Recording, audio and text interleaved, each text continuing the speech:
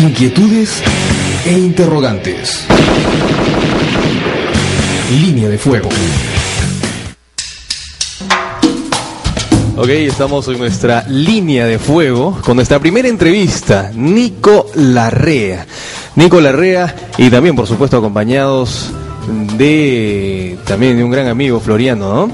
Bienvenido Nico a punto de encuentro. Si te pegas al micrófono, por favor. Sí, gracias por estar acá. Listo para la entrevista. Muy bien, a ver si lo enderezamos un poquito. Ahí está. ¿Y qué tal? Bienvenido, Floriano. Ahora sí vas a hablar, Floriano. Sí, buenos días, buenos días a todos los radio escuchas. Sí, hoy voy a hablar un poco más. Yo Ujú. creí que no, no puedo resistir a tu- tus preguntas. Claro. Eh, bueno, empezaríamos por preguntarle a Nico, eh, ¿cómo así empieza esto de, la- de tu, tu pasión por la música brasilera? Bueno, es una linda pregunta porque hasta ahora yo mismo no me doy cuenta, ¿no? Yo soy de Chiclayo, natural de Chiclayo y muy niño yo escuchaba la música brasileña y de ahí seguramente la fui asimilando poco a poco. Y de tal manera que cuando yo vine a Lima me encontré con que buscaba a dónde realizarme, ¿no? Un poco así. Hasta que encontré al grupo de los Reyes do Samba, que era un grupo de loretanos, todos ellos, excepto yo, como te repito, soy chiclayo. Claro. Y eh, me encontré con la sorpresa que había un instrumento que se llamaba cavaquinho y que yo no sabía de su existencia y nunca lo había tocado, porque mi instrumento realmente primigenio era la mandolina. Claro. Entonces- Ahora, tú viniste muy joven, ¿no? A los 17 años. Claro, Acá no, yo, eh, sí, eh, la primera vez que yo actué en un escenario fue en Chiclayo, cuando tenía 12 años. Ahora, ¿tus papás, tus padres te dejaron venir fácilmente? No vine con toda la familia. Ah, viniste, ah, ya vinieron Sí, con toda la familia. Sí, sí, Ajá. sí, sí. Pero mi madre era una excelente música también. Claro. Seguramente por ahí viene la, la vena es también de la música, ¿no?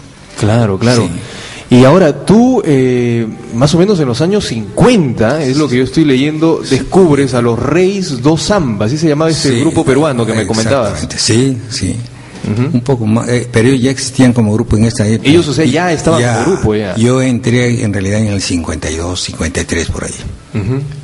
¿Y, qué tal tu experiencia Esa ahí en ese experiencia grupo? linda porque fueron 14 años de música, música brasileña y, y teníamos una buena audiencia porque la música brasileña de ese entonces tocaba mucho.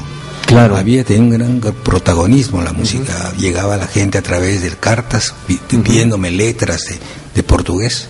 Claro. Sí, muy interesante, era una Ahora, yo estaba época. leyendo parte de tu biografía y dice así, la primera cosa que se nota en Nico Larrea, antes inclusive de su monumental talento, es su elegancia.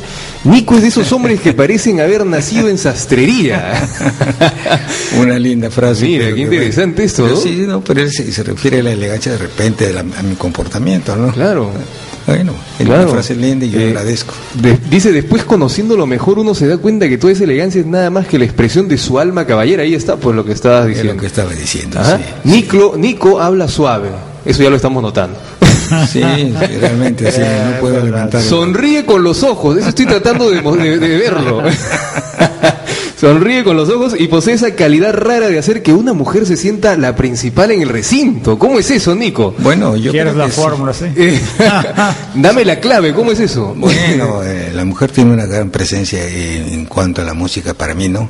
Siempre estoy este, dialogando con ella sus... Eres un hombre que vive enamorado, inspirado por, por una musa, Sí. por las musas, Sí, o por una musa en especial. Bueno, eh, en su momento por una música, una música especial, pero al final de cuentas es un abanico, no todas naturalmente.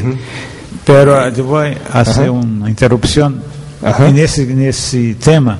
Yo soy testigo. Y lo interesante de la música de Nico es que Nico es uno de los compositores hombres que realmente entiende la mujer.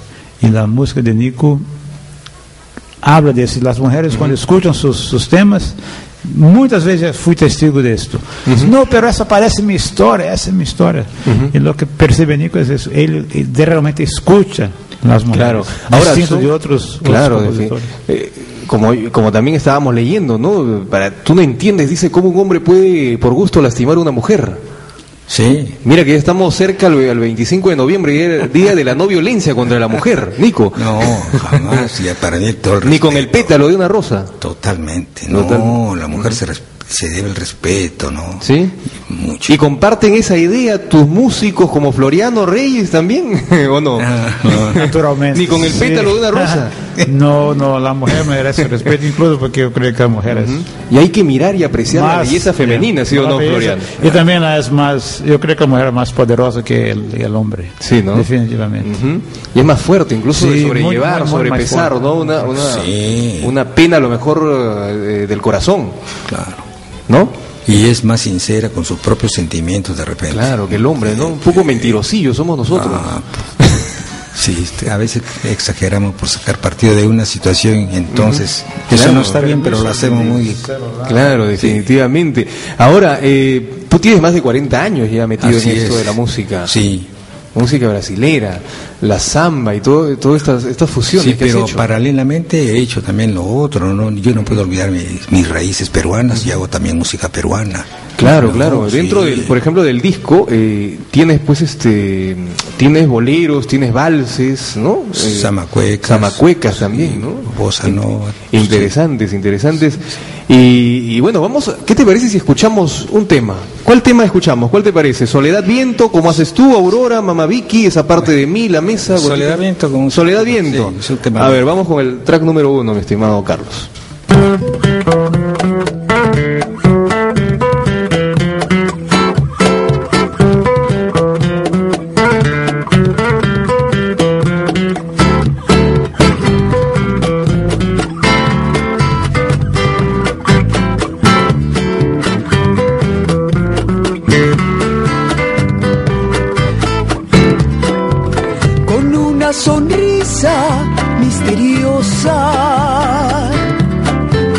Va muy presurosa por ahí y caminando por la vereda.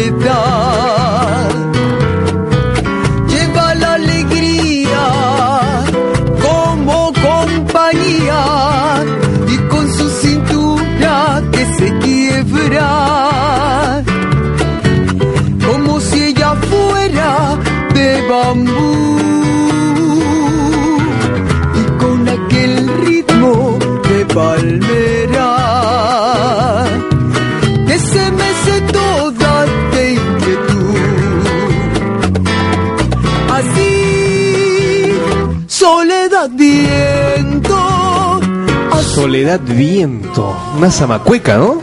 Sí, Y, y estas voces también son parte de tu repertorio, eh, Nico. Las voces, eh, bueno, en este caso es Dodó, un artista de muy gran calidad, muy expresiva. y, y en este tema luce ella muy bien. Claro, Sí, extraordinaria, sí. Por supuesto. ¿Y qué tal es la percusión, Nico? Dímelo nomás. Percusión buena. Dímelo, no porque sí. esté a tu lado, ¿ah? Floriano. Floriano Regis es un gran percusionista, en la parte que toca en, el- en la música brasileña de fusión, él está presente muy bien. Claro, Sí. interesante. Aquí vemos algunas fotos también con, con los chicos, precisamente de, ¿no? Del, de la, de la, del grupo, los, Reyes do Samba, ¿no? sí. Los Reyes do Samba. Sí. ¿Y qué significa los Reyes do Samba? Los Reyes Bueno, de la Samba. Exacto, sí. Los do Un poco pretencioso el nombre en ese momento, pero Claro, porque y- no tenemos y- mucha competencia. Claro, y no, no ha pasado esto, Nico, de que te digan, oye, tú eres peruano, ¿por qué no cantas música o tocas música netamente peruana y, y no brasileña? Puede ser, ¿no? Que te hayan dicho en algún momento. Claro, una vez me cuestionaron precisamente porque todo mi quehacer era justamente la música brasileña y entonces me dijeron, Nico, ¿y qué hay de la música nuestra? Claro. Bueno, ¿Y yo qué des- contestaste? Yo no le he descuidado y tengo grabaciones hechas eh, inclusive con Manolo Ábalos, Ya. donde toco música peruana con las introducciones en el cavaquinho. Ujú. Sí, no, no he, no he dejado eso. Claro. Y en el mismo disco hay temas que son valses, ¿no? Que Está ahí este esa parte de mí que es el nombre, de- el título que lleva el disquito. ¿no? Claro. Esa parte de mí. Ahora, eh, Chabuca Granda. Sí. ¿Qué significó para ti Chabuca Granda? Todo un personaje para mí porque en realidad fue ella la que me puso en contacto con la, con la embajada del Brasil. Ella ya, ya tenía una presencia y coincidentemente llegó acá una gran artista brasileña que no tenía en este momento mayor presencia porque no la contrataban. Dilú, Entonces, la escuchó Dilumelo, sí, Dilumelo. la escuchó Chabuca y entonces ella estableció un puente con Nicanor González de esa época en Radio América para que nosotros la acompañaran los reyes de Usamba. Entonces ahí la embajada tuvo más, pres- eh, más con- eh, conocimiento del grupo y llegó un momento en que des- consideró de que había una premiación para el grupo y nos enviaron. Bueno, esto entre comillas nos enviaron porque no solamente fui yo al Brasil. Claro. Como un premio por la acción difusora del folclore brasileño. Claro, y tú has estado de gira pues con esta eh, cantante brasilera, ¿no? Bueno, de gira no, porque ella tenía su propio espacio, era una figura solista muy buena, pero ella... Pero sí digamos se- que fue un nexo para que tú puedas participar o presentarte o ir a lo mejor al Brasil. Claro, Claro, a eso me muy refería. importante. Ajá. Ella me abrió ya eh, puertas porque era una gran artista y entonces pude tener la oportunidad de eh, asistir a los mejores programas que se daban en Río de Janeiro en esa época. Claro, eso es lo que estaba leyendo, programas de radio y de televisión también. Y ahí es donde sí, sí. eh, conociste, me parece, a Waldira Acevedo. Gualdira se ve un músico genial del cavaquinho. Justamente ella le dio un diseño al cavaquinho porque el, el cavaquinho tradicional era más chico, más delgado, tanto que yo me lo podía ocultar en el saco. ¿Ah, sí? No tenía estuche porque era un instrumento muy pequeño y entonces para ir a la radio yo... El cavaquinho es parecido al charango aquí. eh, Sí, ¿no? Es- más o menos. o sea, me, me refiero a la forma, A la ¿no? forma, no, sí. no, a la- no a lo que suelta pues, Sí, de sí, música. a la forma sí Claro, para que mucho. tenga una idea más el público que- de lo que, que es lo que una- estamos hablando. una guitarrita Ajá. chica. Claro, Sí. que luego vas a demostrarnos también tu arte. Con todo gusto. Eh, y este Waldir Acevedo, pues dicen que ha sido considerado el padre de, la samba, ¿sí? ¿Cierto? Bueno, de la samba precisamente bossa no, nova. del choro, del, choro, choriño, el choriño. compositor de choro. Él era un cultor del choro, practicante del choro. ¿Qué significa choro? El ch- no es- No vayamos a pensar No. qué significa choro, a ver que nos diga Floriano. É, é distinto a choro de Brasil, não é a mesma coisa que o choros de Avenida Brasil. El choro, que el No, choro de aquí del Perú, é, é. que es lo que... que- El choro é esse ritmo básico da música brasileira. Foi de aí começou, de aí vem o samba, vem a bossa nova. Foi o encontro da música europeia com os músicos brasileiros no século XIX. Século XVIII, século XIX. Uau. Os músicos normalmente eram músicos, pessoas que trabalhavam nos correios, aduanas, escutavam isso em Brasil, que chegavam essas polcas, valses, e aí começaram a criar, misturar isso com. E dessa mistura saiu o choro, que é a base de onde saiu toda a música brasileira. Ah, mira, qué interesante. Vamos a irnos a la pausa, escuchamos un tema, un tema más y seguimos comentándolo, Nico, ¿te parece? Ya está aquí en cabina, por si acaso, Andrés de Arroz, también vocalista de Sangre Púrpura, quien dentro de unos minutos más va a estar también, luego de la entrevista con Nico, conversando con nosotros de todo un poco. Y Nico, te, ah, tienes que amarrarte bien los cinturones porque ya viene el confesionario, ¿ah? igual que Floriano. Ok. E se queres um choro, o número 10 é um choro. Volvemos entonces con el choro. para aceptar que no Muy bien, estamos eh, re otra vez volviendo nuevamente con ustedes en esta entrevista con Nico Larrea. Esa parte de mí, Brasil, se llama su producción, su nueva producción, eh, donde tiene 12 tracks y vamos a escuchar el- precisamente el track número 12. Eh, se llama Choro. ¿Choro se pronuncia en Choro. ¿Choro o Choro? Choro. Con S, como si fuera con Como S. se fuera con eso. Lloro en la enfaré. Así es. Vamos a escuchar.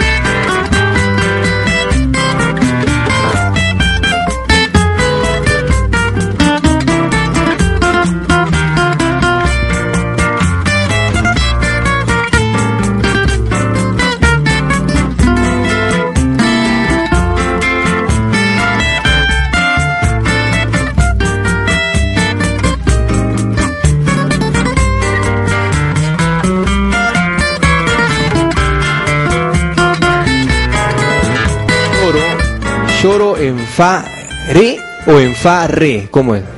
O en farra. Como maestro, no sé. No, es que se ha tomado el nombre por el, el- la nota fa y la nota re. La nota re. Yo sé que es un choro que comienza en fa y después pasa al tono re. Y ese es el nombre que sigue. No es un, no es un choro que, que, que va en y termina con algo de... de No, no. El, el choro del, del Brasil es otra cosa. Claro, ya, escuchamos qué significa, ¿no. Floriano? Lloro, ¿no? ¿Qué tal? es? ¿Y ¿Tú sabes hablar portugués, Nico? ¿No? No, mira. Por que- una razón, eh, eh, cuando yo estuve en el Brasil, precisamente fui a, a hospedarme en la casa de, Lu- de Dilu Melo y ella hablaba fluidamente el español. Ah, mira. De tal manera que en, su- en su casa yo hablaba español con ella Pero, solamente. claro, y cu- pero cuando tú ibas a esos canales, radios de allá, Seguía hablando español. ¿seguías hablando? y Sí, ¿Te entendían o y estaban con traductor? bien, no, bueno, el- el- como dicen acá también el portuñol existe, ¿no? Mm. es una forma de hablar español mezclado con el portugués. Mira, Y pues. se deja entender uno, sí. Bueno, que, es que el portugués también no tiene mucho que, que con el español y casi algún casi las palabras casi se entienden, Por ¿no? Cuando dicen que hablan portuñol. Más o menos. Ah, sí, sí, entiende. ¿Me entiendes? Luego, al final- Estou, estou hablando portuñol. Por isso não vou participar dela confessionário, porque mi espanhol não é bueno. Ahí sí no quiere. no, pero al final del programa te vas a grabar un saludo en portugués para el programa. claro. Eso sí vas a poder hacerlo. ¿ah? Com muito prazer. Ah, ok. Falá con vos, creo que ese es. Ya. ¿no? bueno, y la, la bossa nova también es un ritmo que se hace mucho pues en, en Brasil, ¿no? Pero se hacía. Se hacía ya. sí, ¿no? ya no. Ya se dejó un poco. Sí, se ha quedado un poco, pero tuvo Claro. 20 años de vigencia absoluta y muy buena que dio lugar a que muchos ritmos europeos y americanos se nutrieran de la temática y del ritmo del bossa nova. Claro, por De la- supuesto. sí, es una sí. música bien suavecita, Sí, bien, sí, no como música ambiental, como podría llamarse, ¿no? Sí. E sigue, sigue importante em Brasil, aunque não Claro. se acha mais bossa nova, Claro. digamos assim. Es como la música Pero sí, criolla sí, quizás aquí en nuestro é, país, ¿no? Pero se toca muito. E essa bossa que Nico compôs é muito bonita, que se chama Como Haces Tu. Claro, ahorita que venga nuestro operador que se ha ido no sé a dónde, vamos a poner, pero vamos a seguir hablando, este, eh, Nico. eh, tú me decías que las chicas, eh, Dodo Solar, Cecilia Velo, ellas pertenecen parte de tu, de tu Sí, staff de cantan. músicos. También canta Sí, en el disco. sí. Cecilia Villa, excelente cantante. Claro, muy buena, muy afinada, muy expresiva. Excelente cantante, sí. Ahora, Nico, ¿tú eres casado o no eres casado? No, yo no tengo nada contra el matrimonio, pero defiendo mi soltería, sí. Porque Un solte- pero no vas con eso que me dijo ayer Ángelo Gatón, ¿ah? Más vale solo que mal acompañado, o tú también vas No, con esa frase. No, no, no, no, ¿No? Procuro estar bien acompañado. Procuras bien estar. Sí, dialogar con una persona siempre es una Es cosa que bonita. ya estoy entendiendo tu truco entonces, con las mujeres. no, Tú quieres estar solo para tener a todas, a lo mejor a tu lado. no, trato de ser lo más transparente y, Ajá. Y eso yo creo que podría ser la el como decía pues, este el truco qué sé yo ¿no? una cosa así. Cuál es la fórmula esa es la transparencia de la persona la honestidad con la que te acercas a alguien. Eso es todo. ¿Y tú, Floriano, también casado o también solo? casado, bem casado. Pero allá en Brasil. Não, eu sou Como casado. dices, la casada es mi mujer y, y yo soy el soltero. Mira, ¿no? eu sou casado com uma peruana. Ah, con una peruana. Con una peruana. Ah, carambas. ¿Y qué tal las peruanas? ¿Bien? ¿Mejor que la brasileña? Lindas mulheres, lhe gusta mandar pô. Manda demasiado. Não, muitas mulheres lá, mira, já estuvo em muitas partes do mundo, pero as mulheres peruanas de verdade são especiais. ¿Cuánto tiempo tú llevas aquí en nuestro país, este, E Floriano? seis anos. Seis años. años, ¿Y qué tal? Me gusta cada dia melhor. Nunca, nunca, por meu trabalho já estive praticamente em todos os continentes. Em nenhum sítio fui melhor tratado do que em Peru. Aqui em Peru, o brasileiro é tratado muito bem, muito bem recebido, muito bem recebido. Mira, pues vamos a escuchar, a ver, el- un poco de bossa nova, ¿te parece, Nico? sí A ver, el track número dos, mi estimado Carlos. ¿Cómo haces tú, se llama?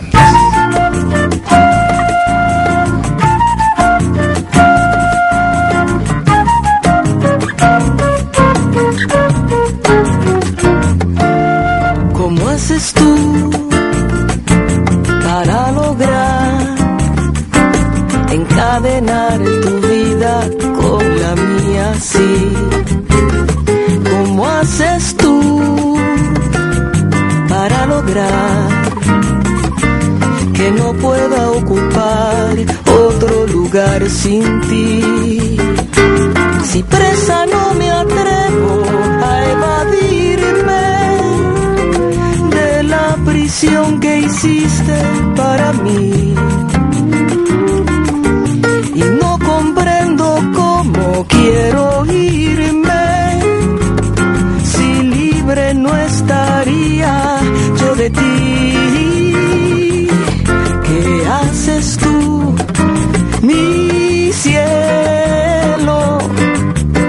para vivir de ti tan dependiente? ¿Cómo haces tú?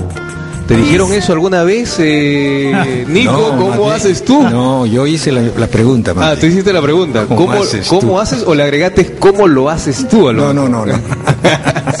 ¿Cómo Cuidado, haces tú? maestro, cuidado. No, no, no. Muy cuidadoso de manejar la- el idioma. ¿no? Para evitar. Eso es lo que canta Cecilia Velo, te estaba preguntando. Cecilia Bello, sí. O Bello. Bello. Y dice que es bella también, en Además, persona. sí, parece que hubiera hecho uso del apellido. de- Mira, pues, interesante. Y linda voz, te diré, ¿ah? Ah, Bella también. Linda voz. Igual que la de Dodo Solar también. Sí. ¿Dodo o Dodó es? Dodó. Dodó Solar, Sí. igual que Dodó Solar. Sí. Ahora, ¿Nico es tu nombre? ¿O No, es un diminutivo de, de Nicolás? Nicolás, exactamente. de Yo soy Nicolás, sí. La rea sí es tu. Sí, sí, sí, sí, sí. Nicolás. ¿Cómo haces tú? Qué interesante, ¿no? Qué bonito estos y, y- y boleros. Vamos a escuchar un bolerito, ¿te parece? La mesa. La mesa, el, el track número 6. El track número 6.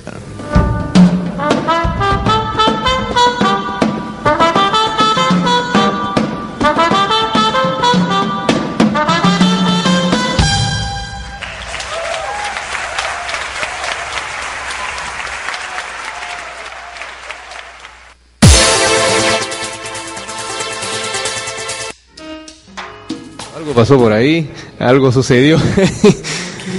Hubo un lapsus, unos duendes se metieron, Nico. Siempre hay duendes. Cliente del duende, ¿eh? Mira, pues, Se esos cambia duendes, las ¿no? cosas, te las esconde. Sí, Este es un duende. conocido. ahí está la música, ahí está.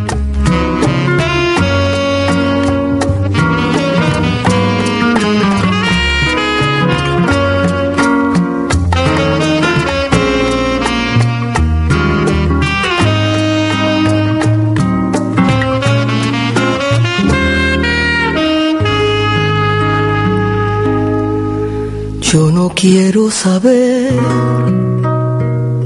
cómo es tu vida, qué le das de beber cuando no estoy, ni si alguna mujer que te convida ir a su mesa te ofrece amor